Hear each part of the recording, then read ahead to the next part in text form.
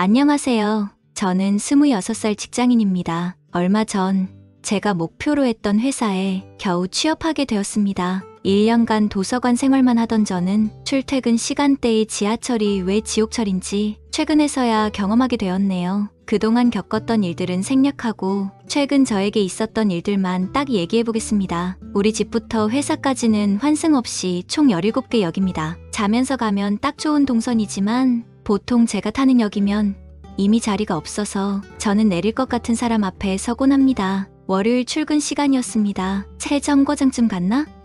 이날은 운이 좋아 제 앞에 앉아 있던 여자분이 갑자기 일어나셔서 제가 구석 자리에 앉을 수 있었습니다. 월요일이라 더 피곤하기도 하고 일찍 앉은 김에 잠을 청했습니다. 한 다섯 정거장쯤 더 갔을까요? 뭔가 불편해서 잠에서 깨어보니 웬 옆자리의 아저씨가 다리를 벌리면서 계속 무릎을 미는 겁니다. 자꾸 밀길래 짜증나서 저도 밀려고 힘을 주었는데 더 닿기만 할 뿐 기분이 참 안 좋더라고요. 고개를 돌려 쳐다보니깐 눈을 감고 있길래 제가 톡톡 치면서 깨었습니다.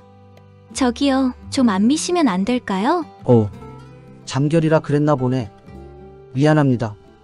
라고 말하시고 다리를 오므리시더라고요. 잠결에 그러셨나 보다 하고 다시 잠을 청하고 있는데 두 정거장도 안 가서 또 다리로 계속 미는 겁니다. 생각해보니 제자리에 앉아있던 여자분이 인상 쓰시면서 일어났었는데 100%이 아저씨 때문이었던 것 같습니다. 또 깨워봤자 반복될 것 같고 짜증나서 그냥 일어나서 서서 갔습니다. 그리고 화요일에는 별일 없었고 수요일에는 비어있는 자리는 있었는데 웬 돼지 같은 남자 둘이서 대놓고 쩍벌하면서 가고 있더라고요. 한 명은 넋 놓으면서 가고 한 명은 휴대전화기 하고 있었는데 잠결도 아니고 일부러 저러고 가는 것 보면 진짜 사진 찍어서 인터넷에 올리고 싶었습니다. 덩치가 크면 더 오므리면서 가기는커녕 진짜 출근 시간에 저러니 화가 나더라고요. 그리고 오늘 목요일입니다. 쩍벌남들이랑 몸이 닿기도 싫고 그래서 그냥 서서 갈 생각이었습니다. 이번에는 근처에서 자리가 나긴 났는데 쩍벌남은 아니고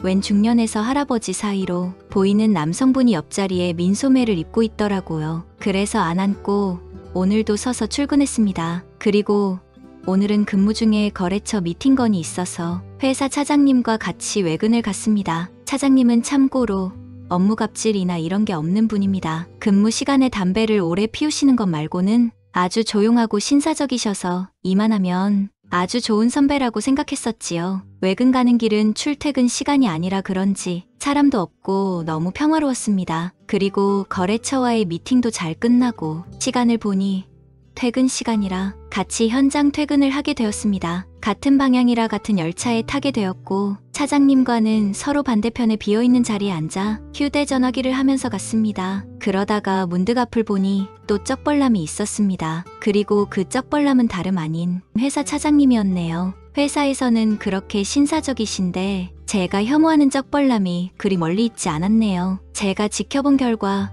주로 40대 이상인 분들이 많았고 20, 30대 분들도 가끔 보이긴 했습니다. 저는 그동안 쩍벌남을 자주 봐서 그런가 이런 생각마저 듭니다. 요새 유튜브에 불량 오토바이들을 신고하고 잡는 분도 계시던데 누가 지하철에서 이런 쩍벌남들한테 한 소리 해주는 유튜브가 나왔으면 좋겠다는 생각도 드네요. 그런 분 생긴다면 정말 열심히 응원하겠습니다. 마지막으로 쩍벌하시는 남자분들께 진심으로 궁금해서 묻습니다. 왜 이렇게 다리를 벌리고 가시는 거죠? 벌어질 수는 있어요. 그런데 옆 사람에게 피해가 가잖아요. 그러면 오므려야 하는 게 맞지 않나요? 정말 저는 이해가 가지 않습니다.